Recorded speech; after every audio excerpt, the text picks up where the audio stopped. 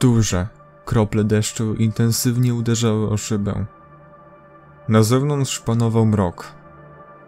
Wiatr targał drzewami z ogromną siłą, których gałęzie strzelały i łamały się. Aleksiej leżał na łóżku trzymając książkę. Pokój rozświetlała mała świeczka stojąca na biurku. Prądu nie było od około trzech godzin. Na zegarze wybiła północ.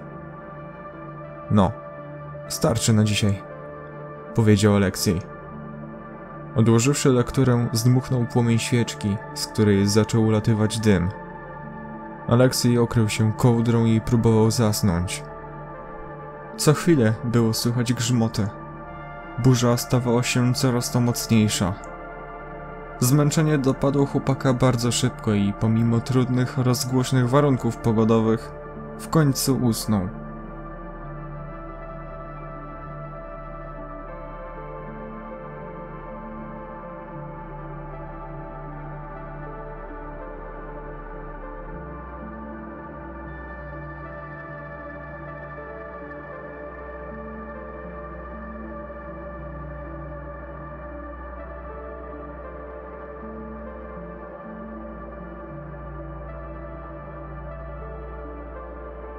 Aleksiej to 18-letni wysoki blondyn mieszkający we wsi Czerlask. Wieś ta znajduje się 7 km od najbliższego miasta, jakim jest Tyczewo. Mieszka z rodzicami, których stale nie ma w domu. Wiadomo, praca, praca i jeszcze raz praca. Pozwalało mu to na robienie tego, co tylko chciał. Siedział późnymi wieczorami i grał na komputerze. Słuchał głośno muzyki Czasami nawet zdarzyło mu się wyciągnąć jakąś flaszkę z barku, która była otwarta wieki temu, z którymi eksperymentował robiąc różne drinki. Najbardziej jednak z tego kochał grać na gitarze. W ciężkich momentach w życiu to właśnie muzyka mu pomagała wynurzyć się z dna całego mułu, jakim było jego życie. Nieudana miłość, bójki w szkole, czyli coś, co spotyka prawie każdego nastolatka. Znajomych miał niewiele. Był praktycznie on sam. Bardzo bał się wchodzić w jakieś kolejne relacje miłosne. Nie chciał znowu, żeby było z nim źle. Rodzice nie poświęcali mu w ogóle czasu. Musiał ze wszystkim radzić sobie sam. Tak to już bywa. Chłopak powoli i ostrożnie zaczął otwierać oczy. Słońce rzucało promienie prosto na jego twarz. Była to już ósma rano. Przeciągnął się i ściągnął z siebie kołdrę. Wziął losowe ubrania zwisające z oparcia fotela i włożył je na siebie. To była taka jego szafa na ciuchy. Przed zamkniętymi drzwiami od jego pokoju siedział niecierpliwiący się kot Edek. Czekał na swoje żarcie. Aleksiej podszedł do drzwi, otworzył je, a kot wyleciał jak torpeda i w ułamku sekundy był już w kuchni przy kaloryferze. Miałczał niemiłosiernie. Dobra, no już spokojnie. Powiedział chłopak z uśmiechem na twarzy, wyciągając puszkę z lodówki. Edek zaczął stawać na dwóch łapkach, starając się dosięgnąć blatu, na którym zawsze było nakładane dla niego jedzenie. Długo nie musiał czekać. Miska wylądowała na podłodze, a wraz z nią nos kota. Chłopak usłyszał mlaskanie Edka, pokręcił głową uśmiechając się i wrócił do pokoju. Usiadł na łóżku. No, to dzisiaj mamy sobotę, pomyślał. Był to już koniec października. Na zewnątrz świeciło owe słońce, lecz było strasznie zimno. Odkrył to, gdy otworzył na chwilę okno. Tak szybko jak zostało otwarte, tak szybko je zamknął z powrotem. Do pokoju przyleciał kot. Wskoczył na swój drapach i zaczął oblizywać się swoim jęzorem. Smakowało, co? Spytał Aleksiej. Edek tylko się spojrzał i zaczął dalej majtać językiem. Chłopak rozsiadł się na łóżko, chwycił pilot od telewizora, nacisnął przycisk. Magiczne pudło włączyło się. Problem był w tym, że żadne kanały nie działały. No co jest, znowu co się stało z tym odbiornikiem? Zirytował się. Otworzył okno, wyjrzał na zewnątrz. Odbiornik był cały i zdrowy, Aleksiej poszedł do pokoju rodziców, włączył telewizor. U nich było to samo. Co się dzieje? Coś po tej burzy zdechło? Zdziwił się. Dziwne. Nigdy tak jeszcze nie było, albo było wszystko, prąd i sygnał, albo nic. Powiedział sobie w myślach. Poczuł jak nagle coś dotknęło jego nogi. To był Edek. Prosił on Aleksja w ten sposób, aby wyjść na zewnątrz na spacer. Dobrze, dobrze, już idziemy. Rzekł do kota. Wyłączył telewizor. Odłożył pilota na półkę i wyszedł z pokoju. Z szafki na korytarzu wziął smycz i zaczepił nią szelki, jakie miał założone Edek. Zbiegli wręcz po schodach na dół. Kot wyleciał za drzwi, a za nim chłopak, który ledwo nadążał za nim. Stary, trochę wolniej. Mam dwie nogi, a nie jak ty cztery łapy. Rzekł chłopak. Kot obrócił głowę w stronę chłopaka, spoglądając na niego ze swoją kocią pogardą. Edek jednak rzeczywiście lekko zwolnił. Oboje poczuli cudowny zapach mokrej trawy po deszczu. Słońce zanikało za chmurami, a powietrze zaczęło spowijać gęsta jak mleko mgła. Niebo wyglądało jakby znów miało zacząć padać. Kot nagle przestał jeździć swoim mokrym nosem po trawie. Uniósł głowę i nerwowo patrzył we mgłę, w stronę, po której znajdowała się łąka. Co zauważyłeś? spytał niespokojnie Aleksiej. Zwierzak zaczął stroszyć ogon. Przybierał swoją pozycję obronną, co bardziej zaniepokoiło chłopaka. Oboje stali w miejscu w bezruchu. Coś przed nimi szeleściło trawą. Aleksiej chwycił kamień leżący przy jego nodze, aby nim cisnąć w to coś. Stał w pozycji gotowej do rzutu. To coś coraz bardziej się zbliżało. I nagle to coś wyszło, a chłopak odetchnął z ulgą. To tylko zając. Edek, czy ty naprawdę przestraszyłeś się tylko... Nie dokończył. Królik patrząc na wystraszoną dwójkę poruszył noskiem. Szybko spojrzał się w tył i uciekł. Wtem z mgły wyleciał wielki pies. Chłopak podskoczył z przerażenia, kot nastroszył jego szaro-burą sierść jeszcze bardziej i zaczął syczeć. Aleksiej nie myśląc za wiele cisnął tam kamieniem w psa, złapał kota pod pachy i zaczął biec. Kundel leciał za nimi. Brakowało kilka kroków do drzwi. Chłopak już wystawiał rękę w stronę klamki, chwycił ją i otworzył je. Pies złapał go za nogawkę od spodni i szarpał ją. Aleksiej z całą siłą zamachnął się drzwiami, które po uderzeniu w psa uwolniły go z jego paszczy. Drzwi trzasnęły. Odstawił kota na podłogę. Sam ledwo mógł złapać powietrze, a kot zaczął lizać sobie łapki.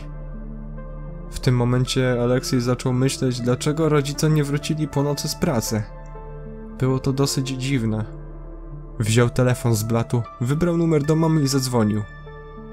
Połączenie od razu zostało urwane. Zero zasięgu. A żeby to cholera wzięła. Zdenerwował się. Spojrzał przez Judasza. Pies siedział i gapił się na drzwi. Muszę coś wymyśleć, żeby się go pozbyć, pomyślał. Rozległ się głośny dźwięk klaksonu na zewnątrz. Aleksiej podbiegł do okna w kuchni. Na środku jego drogi stała ciężarówka wojskowa, a z tyłu stał żołnierz, który zaczął iść w stronę domu. Pies spod drzwi zaczął ujadać i biec w stronę żołnierza. Ten wyciągnął karabin z pleców i pociągnął serię w stronę psa. Zapiszczał i padł na ziemię, cały w dziurach po kulach, z których sączyła się ciemna krew. Są tam jacyś mieszkańcy? krzyknął żołnierz. Aleksiej po chwili zastanowienia otworzył okno. Ja! odkrzyknął. Zejdź tu na dół, powiedział wojskowy. Chłopak zszedł na dół, otworzył drzwi i podszedł niepewnie do żołnierza. Aleksiej, tak? spytał żołnierz. "Mm, tak, odpowiedział. Spakuj wszystkie potrzebne rzeczy. Masz na to 10 minut i zabieramy cię do twoich rodziców, powiedział wojskowy. Ale dlaczego, gdzie i po co? pytał chłopak. Nie zadawaj pytań, pakuj się i jedziemy. Lepiej się nie stawię, bo źle się to dla ciebie skończy, rzekł już lekko poddenerwowany. Chłopak cofnął się do domu. Gdy miał już otworzyć drzwi, usłyszał ciche gwizdnięcie za plecami. Za krzakami stał jakiś mężczyzna. Miał zakrytą twarz jakąś szmatą i założony kaptur na głowie. Pod żadnym pozorem nie jedź z nimi. Ten pies, którego zabili, był mój. Szedłem w tą stronę szukając kogokolwiek, powiedział. Ale dlaczego? spytał Aleksiej. Oni porywają każdego. Oni nie zabiorą cię do twoich rodziców. Zginiesz tam jak każdy, kto pojechał z nimi. Pewnie i oni już nie żyją, odpowiedział nieznajomy. Aleksiej pobladł. Spojrzał się w stronę ciężarówki i następnie na mężczyznę. Dobra, co mam robić? spytał chłopak. Nie daj się złapać, schowaj się, wyszeptał. Ruszyłeś już dupę? krzyczał żołnierz. Jak się nazywasz? spytał Aleksiej. Mów mi Rasal, odpowiedział. Aleksiej otworzył drzwi, wbiegł do środka i się zakluczył. Wziął nóż z kuchni, kota w drugą rękę i zszedł do piwnicy. Krzesło przystawił pod klamkę i przewalił mały regał na drzwi. Idę po tego gnojka, krzyknął żołnierz do swoich towarzyszy. Wszedł po schodach i chwycił za klamkę. Ani drgnęła. Co za smarkacz! Zdenerwowany krzyknął. Cofnął się od drzwi i próbował wyważyć się nogą, kopiąc w nie z całej siły. Po drugim kopnięciu drzwi lekko drgnęły. Lepiej wyłaź, bo źle to się dla ciebie skończy! Wykrzykiwał żołnierz. Przystawił lufę karabinu do zamka i już miał wystrzelić. Wtedy tajemniczy mężczyzna, którego Aleksiej spotkał przy krzaku, rzucił się na niego. Nieznajomy wbił wojskowemu nóż w prawe żebra. Jego kamizelka nie powstrzymała ataku. Żołnierz głośno jęknął. Odwrócił się i uderzył mężczyznę kolbą od karabinu. Ten upadł na ziemię. W tym czasie żołnierz puścił broń, która wisiała na jego pasie. Złapał za nóż i próbował go wyciągnąć. Jęczał bardzo mocno z bólu. Kiedy go już wyjął i upuścił na podłogę, nieznajomy zdążył wstać, złapał za jego karabin i przycisnął nim żołnierza do drzwi. Gdy unieruchomił wojskowego, zaczął kopać go kolanem w brzuch. Żołnierz dosięgnął karabinu i łapiąc rękojeść, palcem wskazującym nacisnął spust. Karabin zaczął robić dziury w ścianie oraz suficie. Żołnierz uderzył głową o mężczyznę, który po tym ataku się odsunął do tyłu. Złapał obiema rękoma za karabin i wymierzył w nieznajomego mężczyznę. Zdychaj! krzyknął. Zabrzmiało puste kliknięcie. Skończyła się amunicja w magazynku. Mężczyzna wykorzystał sytuację. Złapał lewą ręką karabin za lufę. Uniósł ją do góry. W prawej ręce dzierżył nóż, który z rozpędu wbił żołnierzowi w szyję. Wojskowy zaczął się krztusić. Krew zaczęła lać się z jego ust. Wyciągnął nóż z szyi wroga i wytarł go z krwi o jego ramię. Rzuć to! krzyknął jeden z grupy żołnierzy, którzy przybiegli, gdy usłyszeli strzały. Dobra, dobra, powiedział spokojnym tonem nieznajomy. Jeden z żołnierzy, zobaczywszy, że zabił jednego z nich, wystrzelił do niego. Mężczyzna upadł na ziemię. Reszta żołnierzy spojrzała po sobie i skinęli głowami. Podeszli do drzwi i dwóch z nich równocześnie wyważyło je. Znaleźli się w środku. Aleksiej siedział skulony w piwnicy pod stołem, ze spływającym po czole zimnym potem. Przyciskał kota do siebie i czekał, aż to wszystko się skończy. Edek zamiałczał. Proszę, nie teraz, szepnął chłopak.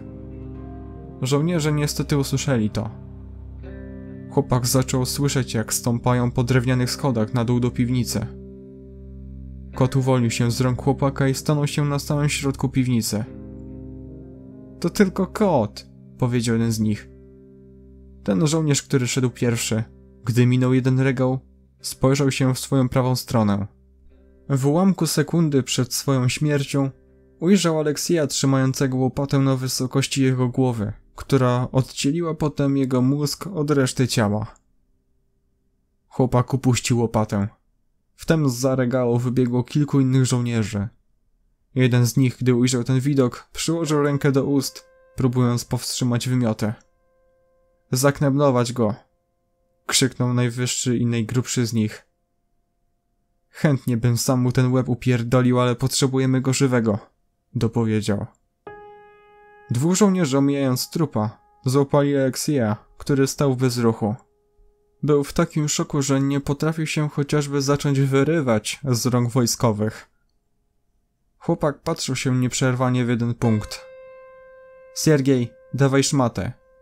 krzyknął jeden z wojskowych.